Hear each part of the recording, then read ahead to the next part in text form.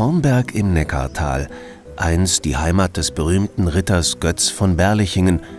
Seit zwölf Generationen ist sie in Besitz der Familie von Gemmingen-Hornberg. Heute leben hier Dajo, Freiherr von Gemmingen-Hornberg, seine Frau Daniela und die beiden Kinder Paul und Marie.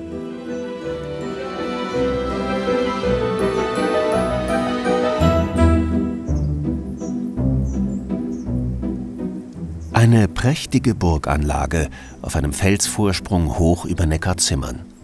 Für Touristen im Neckartal ein Muss. Burg Hornberg besteht eigentlich aus zwei Burgen, der oberen Burgruine und der älteren unteren Burg, die heute privat genutzt wird. Im ersten und zweiten Stock wohnen Dajo und Daniela von Gemmingen mit ihren Kindern.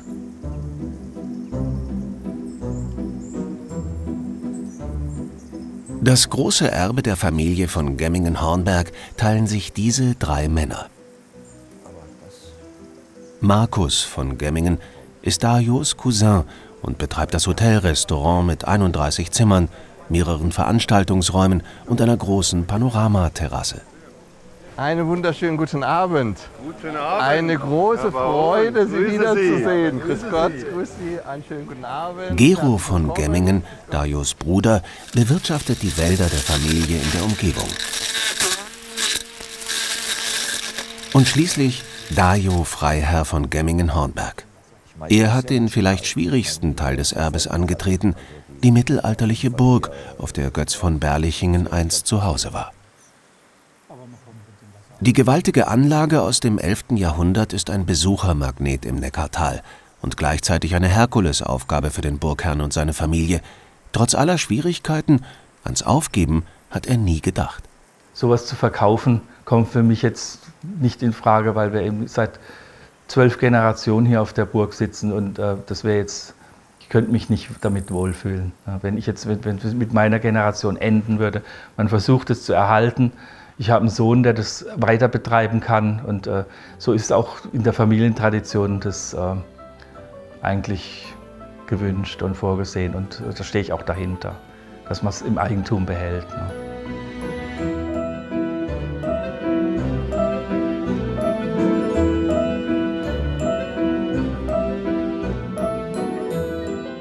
Wir standen ja eigentlich vor, dem, äh, vor zehn Jahren, kann man sagen, so vor dem Problem, dass äh, wieder mal ein Mauereinbruch geschehen ist.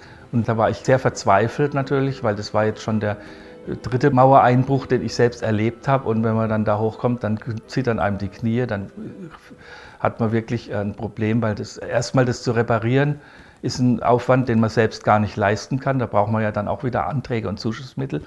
Es darf nicht sein, dass man hier immer repariert. Man muss jetzt mal eine umfangreiche Sanierung äh, durchführen. Ein Mammutprojekt. Zwei Jahre Vorbereitungszeit, zehn Jahre Sanierungsarbeiten. Die Burg des Götz von Berlichingen verschwand hinter Gerüsten, Baustaub und Maschinenlärm.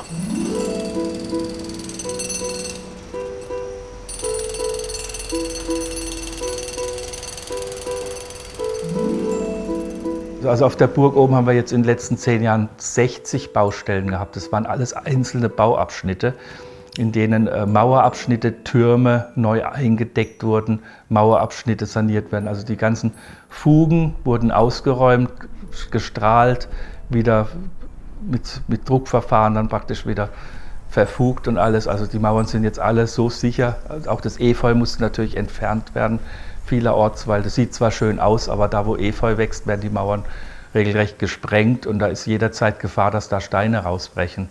Also eine Mauer, wo Efeu dran wächst, ist, sollte man sich nicht unbedingt unten äh, hinsetzen. Zwei Millionen Gesamtkosten.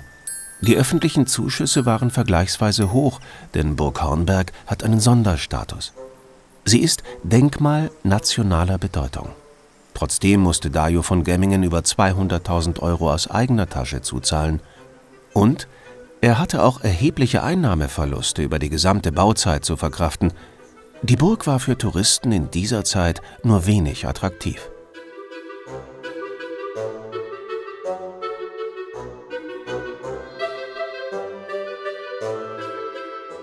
Das Geld hatte ich nicht, also es war jetzt auch ganz schwierig.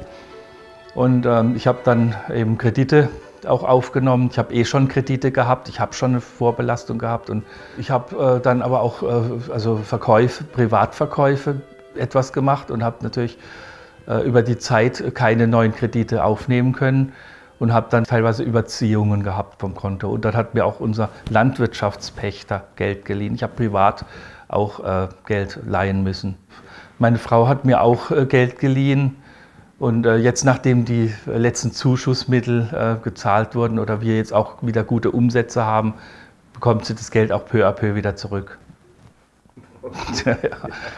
ja, es ist, ist so. Ich hatte ja keine Wahl. Ich kann ja jetzt nicht sagen, ich mache da nicht mit oder irgendwas, weil Sonst hätte ich die ganze Burg natürlich selbstverständlich abgeben müssen. Da war viel angespannter als heute. Und teilweise die finanzielle Situation war ja auch schwierig, äh, teilweise ungeklärt. Hat er dann alles wirklich mit eigenen Überlegungen, das meinte ich vorhin auch, dass er im finanziellen Dingen irgendwie immer gute Lösungswege findet. Und das hat er auch geschafft. In der Zeit, das war ja sicherlich äh, für ihn für ihn vor allem sehr anstrengend. Ich habe das ja auch gewisserweise auch einschätzen können, was das bedeutet und haben die Zeit auch schön rumgekriegt jetzt.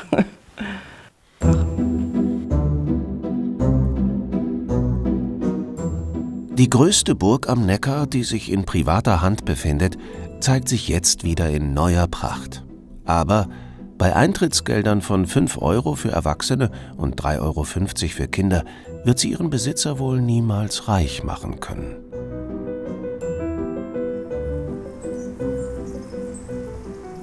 Also dort kann man Millionen reinstecken, die ist immer ein Euro wert, eine Ruine. Eine Burgruine hat keinen steigenden Wert, weil sie ist ja als Ruine geschützt. Sie darf nicht wieder aufgebaut werden. Also für die Ruine würde ich jetzt äh, wahrscheinlich keinen Käufer so einfach finden. Der würde niemand für einen Euro nehmen. Der Staat würde sie eventuell nehmen, weiß ich aber nicht, weil steht ja nicht zur Diskussion.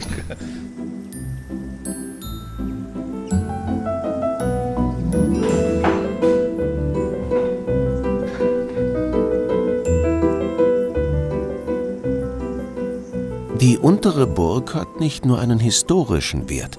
Sie dient der Familie von Gemmingen seit den 30er Jahren als Wohngebäude. Zuvor hat die Burg 300 Jahre ohne Dach weitgehend schadlos überstanden. Die bis zu drei Meter dicken Mauern boten früher Schutz gegen den Feind, dann trotzten sie über Jahrhunderte dem Verfall. Heute schützen sie im Sommer gegen Hitze und im Winter gegen Kälte.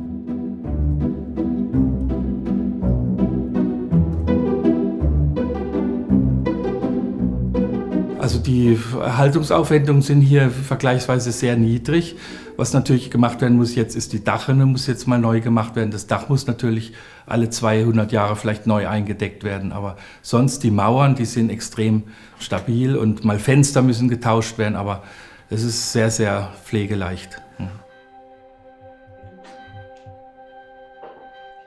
Angesichts des uralten Gebäudes ist Gelassenheit gefragt. Der Atem der Geschichte weht durch die Räume. Und hinter den Mauern lauern Geheimnisse. Ja, also hier stehen wir ja an der Angriffsseite, ne, die drei Meter dicke äh, Mauer mit den Buckelquadern auch drin. Ne, das ist ja 900 Jahre alte Bausubstanz und da sind also zwei Gewölbe übereinander. Und da wird der erste Stock ausgelassen und über dem Gewölbe ist praktisch ein versteckter Hohlraum. Also in diesem versteckten Hohlraum, da konnte man zum Beispiel im Krieg dann auch mal Silber verstecken. Ne? Also das ist dann erhalten geblieben. Und ich werde ja oft auch nach Geheimgängen gefragt. Und das wäre jetzt zum Beispiel so ein eigentlich ein geheimer, jetzt ist es vielleicht nicht mehr so ein geheimer Platz, aber es gibt bei uns mehrere Geheimgänge. Und da, wenn ich gefragt werde, dann sage ich, kann ich leider nicht sagen, weil sonst ist ja kein Geheimgang mehr. Ne? Der geheime Geheimgang hat auch einen geheimen Zugang von innen. Hier war früher ein Speisenaufzug in Betrieb. Paul! Essen kommen! Mittagessen ist fertig. Gut.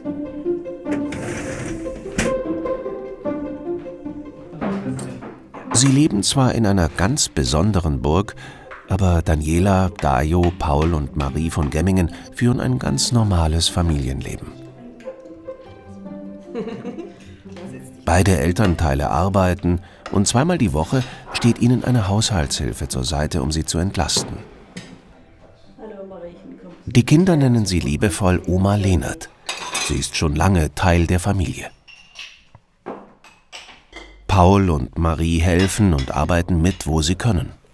Sie haben ihre Aufgaben, Marie Geschirrspüler ausräumen und der Paul, der muss natürlich im Garten das Rasen mähen. Da muss er gucken, arbeiten, die ein bisschen mehr körperlich sind oder in die Garage gehen. Das sind seine Aufgaben. Marie ein bisschen mehr im Haushalt. Ne? Marie ist drei Jahre jünger als Paul. Ein Altersunterschied, der gerade in jungen Jahren schwierig sein kann.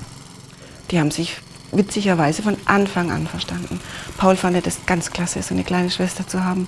Hat sie mit seinen Schleichrittern, als sie dann auf dem Sofa lag, um, so richtig um sie rum drapiert und hat gesagt, ich beschütze meine kleine Schwester. Und die haben von Anfang an irgendwie einen Draht zueinander gehabt. Erstaunlich. Ich finde, ja, mit ihr ist nie langweilig, also man kann mit ihr reden bis zum geht nicht mehr und ich vertraue ihr auch alles an. Auch heute ist der Marie wichtig, was der Paul zu irgendwas meint und umgekehrt das Gleiche. Wenn er irgendein Outfit hat oder sich gestylt hat, dann ist es die Marie, die er fragt, wie sie es findet. Und wenn sie nur so ein bisschen, naja, dann ist schon alles schräg. Da kann ich dann zu ihm sagen, was ich will, das zählt nicht. Also die zwei sind, sind schon miteinander, ja. Also wir haben eine ausgeprägte Kommunikation mhm. und äh, Paul versteht sich auch sehr gut mit dem Dario, genauso wie mit mir. Dario ist natürlich für andere Bereiche zuständig als ich und äh, auch mit der Marie verstehe ich mich hervorragend. Sie sagt sogar manchmal, dass sie das so schön findet, dass ich wie eine Freundin zu ihr bin. Und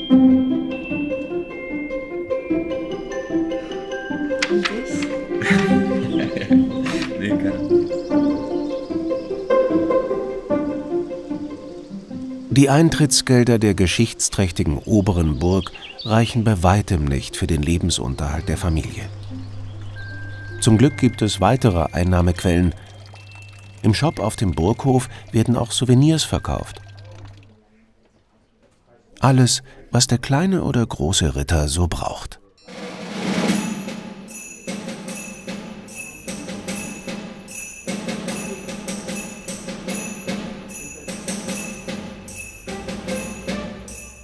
Und natürlich der Wein.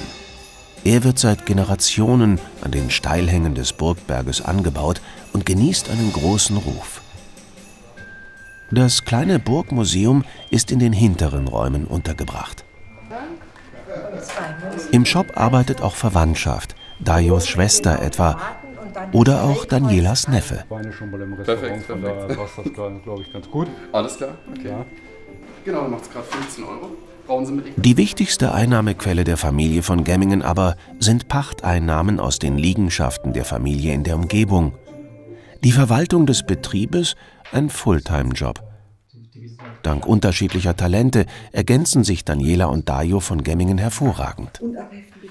Ganz einfach denke ich, dass die Strukturiertheit bei mir da einfach sehr ausgeprägt ist und ich es sehr gern und leicht kann. Organisiere ich ähm, so das ganze Berufliche außenrum bei uns ja, Termine, Buchhaltung. Und äh, Dayo hat äh, sicherlich das große Talent ähm, vertraglicherseits. Also er kann juristische ähm, Schreiben perfekt interpretieren und auch auslegen. Er verhandelt sehr gut in Vermietungen oder auch, wenn irgendwelche Arbeiten anstehen mit Handwerkern und vertraglicherseits eben. Also was ich jetzt äh, zum Beispiel jetzt nicht so gern mache, sind so Personaldinge, Einteilung, wer macht jetzt den Weinverkauf und die, auch die Termine, äh, dass die richtig alle, ich muss mir alles in mein Handy eintippen, um dann von meinem Handy erinnert zu werden. Sie hat es alles im Grunde genommen im Kopf und kann sich das alles merken. Also er hat auch so gern das laissez-faire und ähm, ist nicht so, ich bin pünktlich, ich lege Wert darauf, dass in bestimmten Zeiteinheiten bestimmte Sachen passiert sind. Und ja, er wäre da ein bisschen unstrukturierter, ganz definitiv. Auf dem Schreibtisch würde es auch anders aussehen. August dann auch schon. Bei den Führungen und bei den Weinproben, die mache eigentlich ich dann eher. Aber mir wäre auch ganz recht, wenn sie da auch mal mehr mitmachen würde. Aber auf der anderen Seite bin ich auch froh, wenn die Büroarbeit nicht äh, so ganz bei mir hängen bleibt.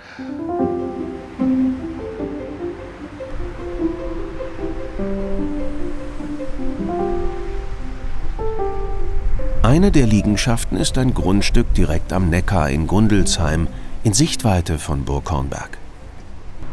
Dajo und Daniela von Gemmingen treffen sich mit dem neuen Pächter. Lange Zeit wurde hier ein Campingplatz betrieben, aber es gab Schwierigkeiten. Mit Verpachten vom Campingplatz habe ich das Problem gehabt, dass ich die, der, dass nicht der Pächter die Wasserkosten berechnet bekam, sondern ich dann persönlich. Und dann äh, wurde das nicht gezahlt in manchen Fällen so richtig. Und dann habe ich da also äh, eigentlich sogar draufgelegt teilweise. Ne? Also das Campingplatz muss man eigentlich selbst betreiben. Und wenn man ihn verpachtet, äh, ist es auch schwierig. Und an dem Platz hier direkt mitten in Gundelsheim im Prinzip direkt am Neckar, da hätte man die besten Möglichkeiten, Märkte zu machen. Ne? Ein guter Plan, aber die behördlichen Hürden sind hoch. Es wird noch dauern, bis hier der erste Markt stattfinden wird. Direkt an der Bundesstraße liegt auch das Schloss Neckarzimmern. Ein Teil des Schlosses ist in den 30er Jahren an die Gemeinde verkauft worden, ist heute Rathaus. Der andere Teil gehört zum Erbe Dajos und wird gerade aufwendig renoviert. Hier sollen Mietwohnungen entstehen.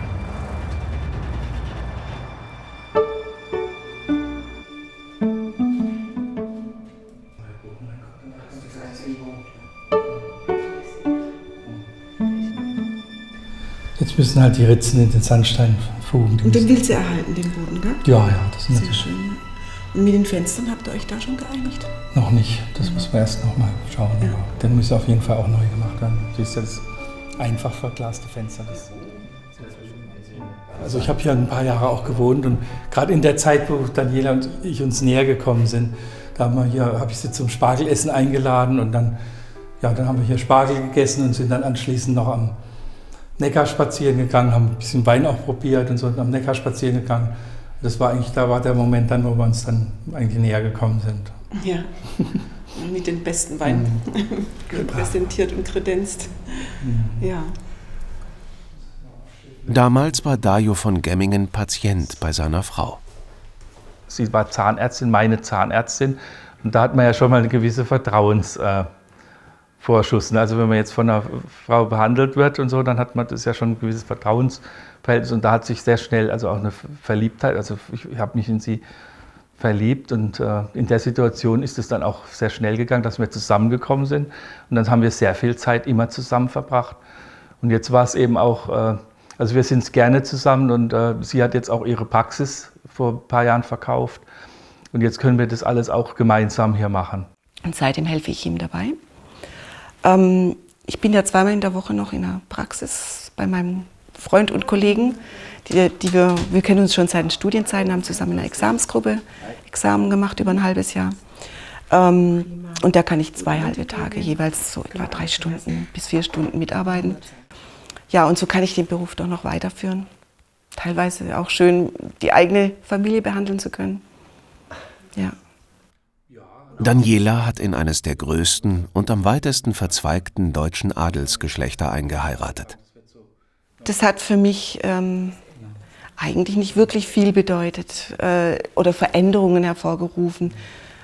Das, ähm, Dayo hat es auch so, er hat nicht diesen Standesdünkel, würde ich jetzt mal sagen. Er hat so eine natürliche Art und Weise, adlig zu sein und ähm, entsprechend habe ich das auch empfunden und aufgenommen. Auch sein Vater hat mich sehr begrüßt, als ich aufgetaucht bin. Also war ganz, ganz glücklich, äh, dass er so eine Frau gefunden hat. Und ähm, es war alles irgendwie offen und äh, ja, positiv, würde ich sagen. Das, meine Geschwister fanden das toll, weil die Burg Hornberg, die kannten sie auch und dass ich nicht so weit weg bin und alle meine Geschwister haben mich schon häufig hier besucht, also die genießen das auch, ja. Daniela von Gemmingen entstammt selbst einer bemerkenswerten Familie. Die Pastorentochter hat neun Geschwister. Ihre Schwester Angelika hat wiederum elf Kinder. Die beiden Familien sehen sich regelmäßig, fahren seit vielen Jahren zusammen in Urlaub. Man trifft sich in Eppingen oder auf der Burg. Für Dajo von Gemmingen ist es eher ungewohnt, aber... Er liebt es, also er hat es sehr, sehr gern. wenn es heißt, ich komme wieder welche, ja, es kann ihm nicht genug sein. Er hat es sehr gern. Ich glaube, er hätte es auch gern gehabt als, als Kind. So viel Familienleben, so viel miteinander, laut, trubelig.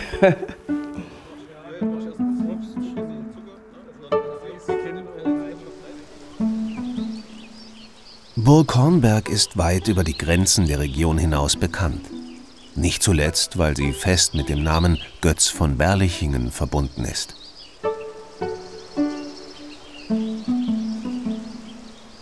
Der hat sich seinen persönlichen Traum erfüllt, denn schon als Kind war er von der Burg fasziniert. 1517 kauft er sie von der Familie Schott von Schottenstein für 6500 Gulden. Der Kaufbrief ist bis heute erhalten. Der Götz, äh, der ist ja für die damalige Zeit so alt geworden, wie kaum jemand das Alter erreicht hat, 82 Jahre. Und hat mit 37 Jahren die Burg Hornberg gekauft und hat dann ja noch 45 Jahre, also die längste Zeit seines Lebens, die Burg hier besessen und da auch sehr viel Zeit verbracht. Er war ja zum Teil auch sogar hier Gefangener auf der eigenen Burg, in, unter Reichsacht gestanden, elf Jahre lang. Der Enkel und Erbe des berühmten Ritters gerät in finanzielle Schwierigkeiten und muss die Burg verkaufen. Reinhard von Gemmingen, genannt Reinhard der Gelehrte, erwirbt im Jahre 1612 die Burg und weitere Liegenschaften in der Umgebung für 50.000 Gulden. Er begründet damit die Linie und den Besitz derer von Gemmingen-Hornberg.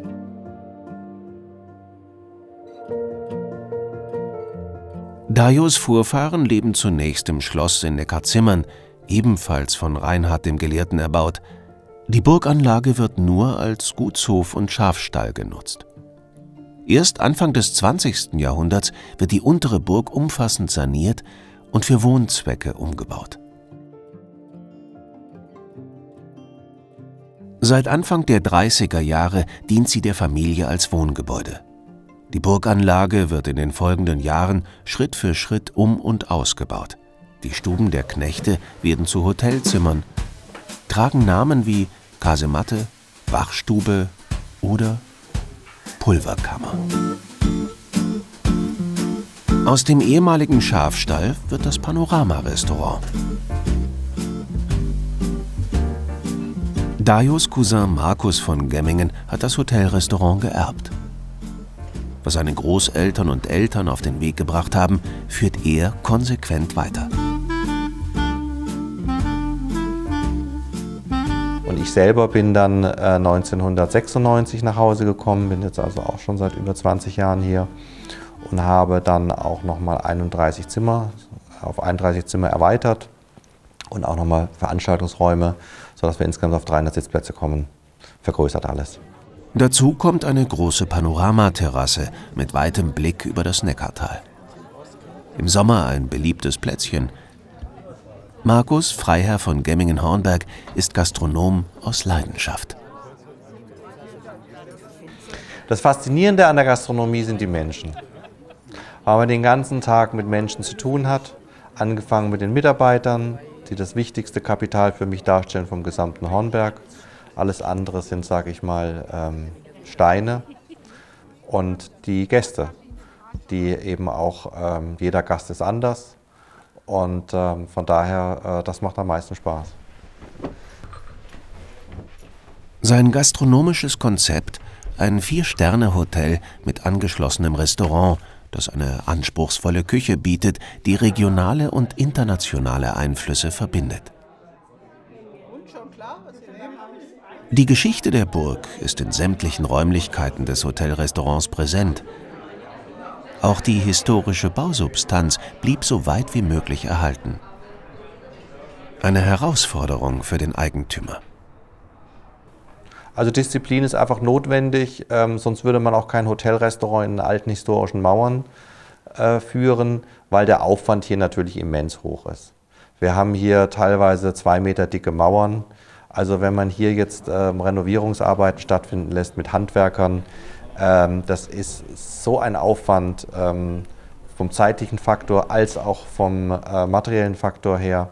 Ähm, da kann man da auch sehr viel leichter ein Hotelrestaurant irgendwo auf dem Feld hinbauen. Das historische Ambiente ist besonders attraktiv für Brautpaare. Hochzeitsgesellschaften sind die wichtigsten Kunden des Freiherrn. Die romantische Waldkapelle gehört ebenfalls zum Familienerbe. Sie wird gerne für die Trauung gebucht. Das ist feste Tradition. Wenn die Braut vorfährt, ist Markus von Gemmingen zur Stelle. So, herzlich willkommen. Dankeschön. Schön. So, ich wünsche Ihnen einen wunderschönen Traugottesdienst. Das Wetter könnte nicht besser sein. Trauung in der Kapelle, Sektempfang auf der Terrasse, später ein ritterliches Festmahl, abends Tanz. Und die Hotelzimmer sind direkt nebenan. Einem Brautpaar wird hier das komplette Paket geboten. Markus von Gemmingen ist immer dabei. Äh, Hausführung dauert ungefähr 45 Minuten. Hochzeiten sind eine gute und vor allen Dingen regelmäßige und zuverlässige Einkunftsquelle für das Hotelrestaurant. Wie viele gastronomische Betriebe hat es mit saisonalen Schwankungen zu kämpfen. Also im Sommer ist es so, dass wir eben da viele Hochzeiten haben und von daher ist da natürlich immer viel los, was auch ganz wichtig ist, weil davon leben wir. Im Winter ist bei uns recht ruhig. Das heißt, alles müssen, im Sommer müssen wir sozusagen die Ernte einfahren, um dann im Winter alle davon zu leben. Eins, zwei, drei.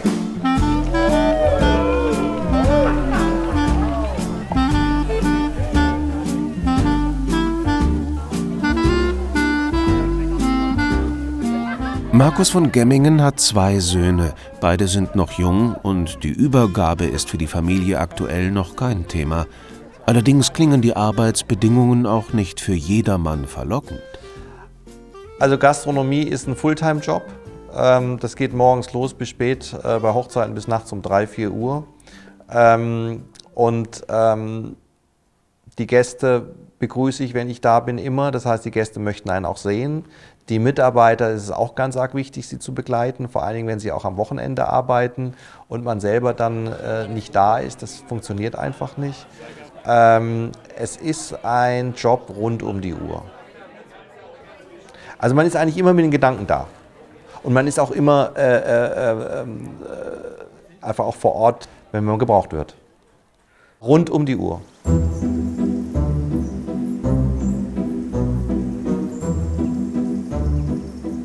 Aber wie für seinen Cousin Dayo gibt es auch für Markus keine Alternative. Naja, also erstens mal ist es so, dass wir seit 1612 hier sind. Das heißt, ich bin jetzt die zwölfte Generation. Also das ist schon eine lange, lange Kette. Und ähm, dadurch ist es auch eine gewisse Verpflichtung. Und ich vergleiche es immer gerne ähm, mit einer Perlenkette. Man muss sich vorstellen, man hat eine Perlenkette, die besteht aus zwölf Perlen. Und ähm, man selber möchte nicht äh, die Perle an, an der Stelle dann stehen, wo die Perlekette reißt, sondern man möchte versuchen, dass es in die nächsten Generationen übergeht. Ritter Götz von Berlichingen ist auf dem Hornberg allgegenwärtig. Im Hotelrestaurant der Götzenburg ist man bei Götz zu Gast und kann ein ergötzliches Rittermahl zu sich nehmen, im Götzensaal oder der Götzenstube. Und nur wenige Schritte entfernt, im Burgmuseum, steht die originale Rüstung des Götz von Berlichingen, der gar nicht so groß war, wie er heute scheint. Ja, und hier kann man jetzt auch schön sehen, die Größe von dem Götz. Die war, der war also etwas kleiner als ich. Früher waren ja vor 500 Jahren die Menschen eher kleiner. Ne? Die waren so vielleicht 1,60, 1,70. Die Rüstung ist soweit vollständig, nur der Helm, der fehlt. Ja, also der Helm, der hier dazu gehört, der ist mal äh, gestohlen worden, als die Rüstung in den Besichtigungsbetrieben der oberen Burg untergebracht war. Ja, und dann hat mein äh, Vater, das war auch so, glaube ich, in den 70er, 1970er Jahren, da hat er sich äh, also einen Ersatzhelm anfertigen lassen, der genauso ausgesehen hat. Und als der dann viele Jahre später wieder gestohlen wurde, dann habe ich gesagt, das ganze Museum muss hier runter in den Schafstall, wo wir ja auch unser Museum haben und jetzt überhaupt auch der ganze Eintrittskartenverkauf abgewickelt wird. Und jetzt auch unsere ganzen Museumsausstellungsstücke sind jetzt hier unten. Darunter befinden sich auch die historischen Waffen, die Ursache für die eiserne Hand des Ritters waren. Der war auf dem Schlachtfeld auch wieder auf dem Pferd gesessen mit Rüstung. Und dann hat ihn ein, äh, eine Kugel einer Feldschlange getroffen. Und die hat ihn dann an der rechten Hand getroffen, das Geschoss, also praktisch so ein Taubenei großes Geschoss. Und dann hing die Hand nur noch an einem Hautfetzen runter. Das war also, da musste die Hand verbergen und musste ganz schnell vom Schlachtfeld runter. Und äh, die Hand war verloren.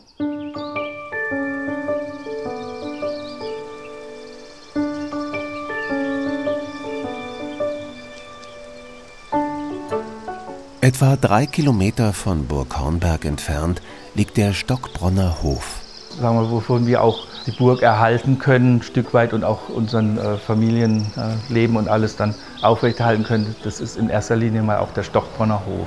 Das ist also ein Landgut mit Ackerfläche, 120 Hektar etwa. Und die haben wir äh, verpachtet. Und dann haben wir eigentlich noch viele Gebäude auf dem Stockbronner Hof, so circa ja, zwölf Gebäude.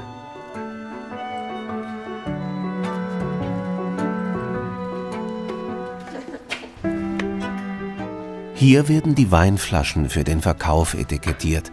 Wie die meisten Aufgaben im Betrieb wird auch diese Arbeit von Familienangehörigen erledigt.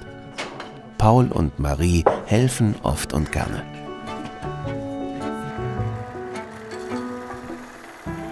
Es sind noch die Restbestände aus eigenem Anbau. Dajo von Gemmingen ist studierter Önologe, also Fachmann im Bereich Weinbau. Umso schwerer hat er sich vor kurzem vom traditionellen Weinbau der Burg Hornberg getrennt. Die langen Steilhänge am Fuß der Burg können nicht mit Maschinen befahren werden. Bei gestiegenen Personalkosten sind sie unwirtschaftlich geworden. Dajo hat sie jetzt einem Pächter überlassen, kostenfrei. Lediglich für die weniger steilen Lagen kann er eine kleine Pacht nehmen. Immerhin, den berühmten Wein der Burg Hornberg gibt es weiterhin.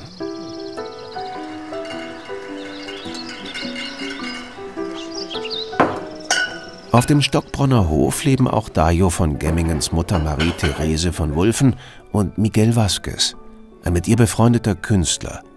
Beide genießen die Abgeschiedenheit und Ruhe, die hier selten gestört wird. Ja, ich wollte hier mit Miguel zusammen malen. Das hatten wir uns ausgedacht. Und dann hat er gesagt, er kann nicht kommen, wenn ich kein Atelier habe für ihn. Weil hier diese Riesenbilder, die kann man ja nicht äh, in ein kleines Zimmer stellen. Da musste ein Atelier her. Und dann habe ich Dario gebeten, ob er mich das in die Scheune bauen lässt. Und er hat es erlaubt. Und dann habe ich das bauen lassen, diesen Raum hier. Und der ist ja auch schön für uns.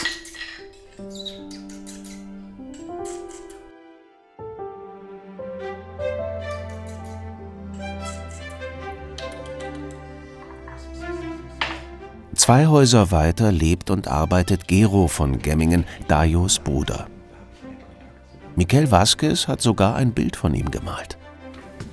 Gero hat für mich eine Strahlung, eine gute Strahlung, eine Güte und, und äh, viel Liebe und eine Einsicht über die Welt, muss alles friedlich sein und und das wollte ich ausdrücken, dass er da sitzt und glücklich und dass er eigentlich Mensch ist.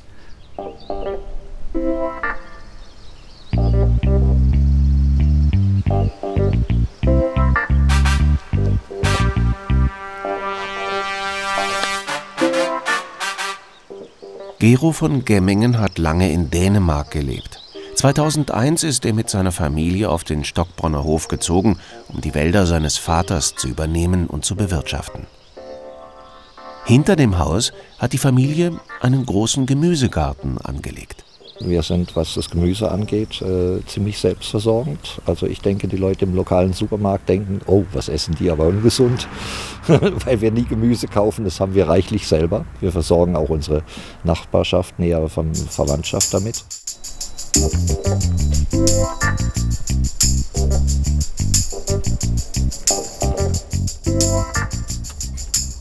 Selbstversorgung, die Unabhängigkeit.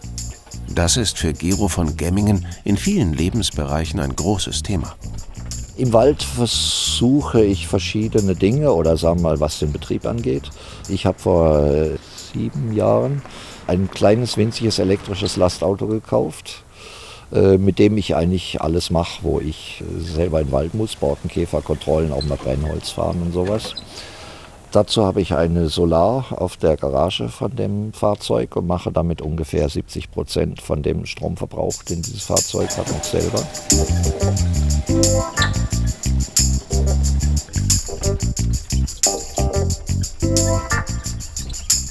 Wie viele Forstwirte in Deutschland kämpft auch er mit dem Borkenkäfer. Also hier haben wir ein paar Käferbäume. Die armen Kerle hier hat es erwischt. Ein vier Stück. Äh, der Rest sieht noch aus, als ob er okay äh, wäre, aber muss möglicherweise vorsichtshalber auch gefällt werden. Es gibt ein Überangebot von Fichte im Augenblick. Äh, es ist zurzeit so, dass der Fichtenpreis etwa runter ist auf der Hälfte vom Normalpreis. Industriehölzer sind zum Teil kaum verkäuflich. Und man hat also im Augenblick die Schwelle überschritten, wo man sagt, es ist ein Minusgeschäft, diese Fichte zu verkaufen. Aber damit muss ich ja leben, es muss gemacht werden. Wenn ich das auffangen will, muss das über äh, waldbauliche äh, Maßnahmen gehen. Also sprich andere Baumarten pflanzen, Sachen, die eben erst nach 30 Jahren oder mehr anfangen zum Tragen zu kommen. Also für meine Zeit jetzt ist es eher schwer. Aber also wenn es nach mir ginge, ich hätte lieber einen mehr extensiven Waldbau als naturnahen Wald. Also praktisch äh, den Wald sich so entwickeln lässt, wie er das hier gerne von selber will. Das ist natürlich vor allen Dingen eine finanzielle Frage. In den 90er Jahren, da waren ein paar kräftige Stürme, die praktisch hier große Teile von dem Wald umgelegt haben. Musste also neu gepflanzt werden, ein Großteil des Waldes. Es mussten Kredite aufgenommen werden, um das, äh, um das zu bewerkstelligen, an denen ich heute noch abbezahle und wahrscheinlich auch den Rest meiner Zeit abbezahlen werde. Ein Erbe, das Gero von Gemmingen trotzdem nicht in Frage stellt weil äh, der Wald eigentlich äh, seit 400 Jahren im Besitz der Familie ist. Äh, ich sehe das mehr als ein äh, Amt, als eine auf diesen Wald aufzupassen, so dass ich ihn an meine Nachkommen übergeben kann, so wie ich ihn erhalten habe. Er ist, er ist Produktionsmittel. Er ist gewissermaßen der Ast, auf dem äh, die, die, das Einkommen unserer Familie sitzt. Ich sehe mich nicht dazu berechtigt, äh, den Wald jetzt zum Beispiel veräußern zu können oder so.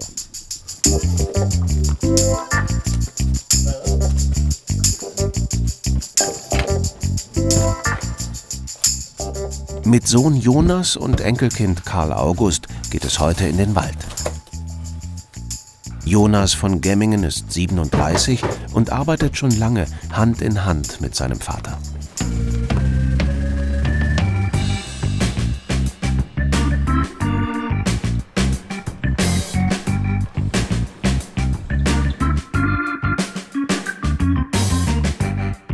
Die jungen, heranwachsenden Bäume müssen freigeschnitten werden, eine ständig wiederkehrende Arbeit. Weil die Unkraut einfach schneller wächst als die Bäume. Wir müssen äh, Luft und Licht schaffen. Ja, sonst wird und das Gestrüpp schnell höher als die Bäume und dann gehen die ein. Man muss die also, wenn sie, solange sie klein sind, frei halten. Früher hat man gespritzt, aber jetzt wird es äh, mit, mit Freischneider gemacht. Wie das Auto hat auch der Freischneider natürlich Elektroantrieb.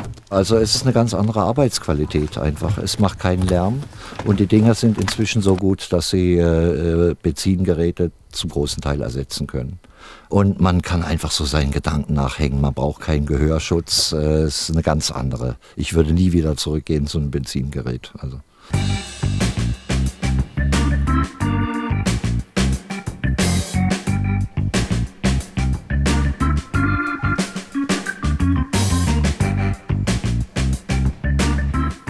Jonas ist gelernter Forstwirt, hat alle Zertifikate und wird seinem Vater auf dessen Weg folgen. Die 13. Generation der Familie von Gemmingen steht also schon bereit.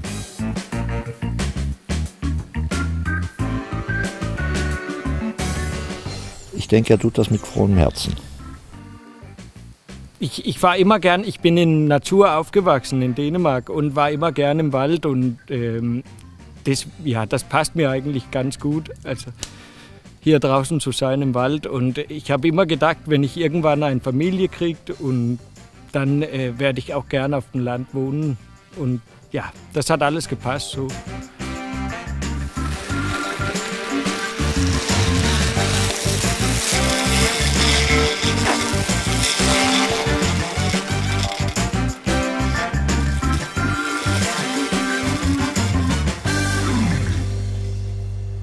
Unten auf der Burg scheint die Übergabe ebenfalls geklärt.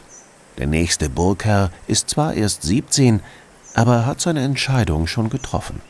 Also Paul hat das schon ganz früh gesagt. Also ich glaube, es war schon im Kindergarten, hat er gesagt, er möchte das Gleiche machen, was sein Papi macht. Und dem ist er treu geblieben. Das ist mein fester Entschluss, ja. Also jetzt nicht direkt, wie gesagt, nicht direkt nach der Schule. Also ich will schon erstmal noch ein bisschen hier das Leben genießen.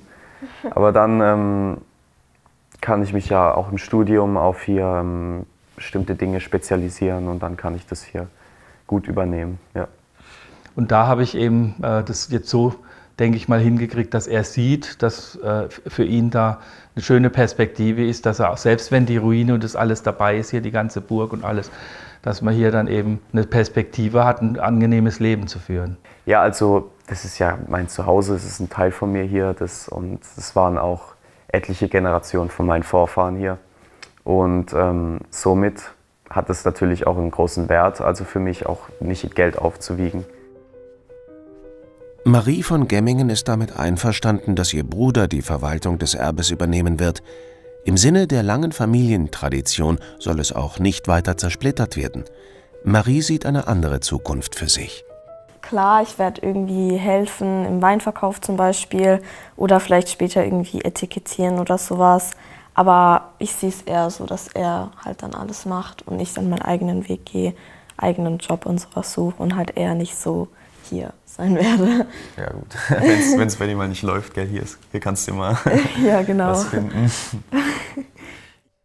Ja, also wir achten auch darauf, dass wir ihn jetzt in bestimmte Sachen mit einbinden. Wir haben äh, Vertragsverhandlungen, da haben wir ihn jetzt auch schon mitgenommen, dass er da ein bisschen was Einblick bekommt und erklären ihm immer wieder, auch zu den Vermietungen, dass er da teilweise jetzt auch schon mitgeht, wenn er Zeit hat und das interessiert ihn auch, ja.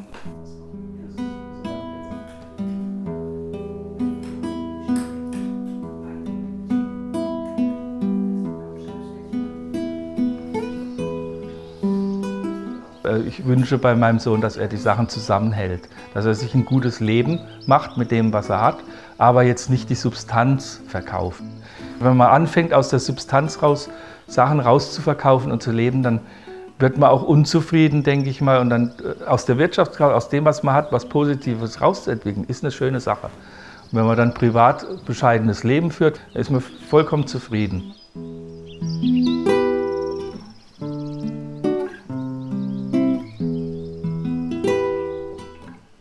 Dass sie Spaß an dem haben, was sie machen und dass sie sich nie nur wegen Geld in irgendwelche Zwänge einbinden lassen. Also, weil Paul zum Beispiel hätte es nicht wirklich nötig, sich irgendwo da ähm, ja, unglücklich machen zu müssen. Wenn er es geschickt macht, hat er Freiheiten und ähm, kann ein zufriedenes Leben führen.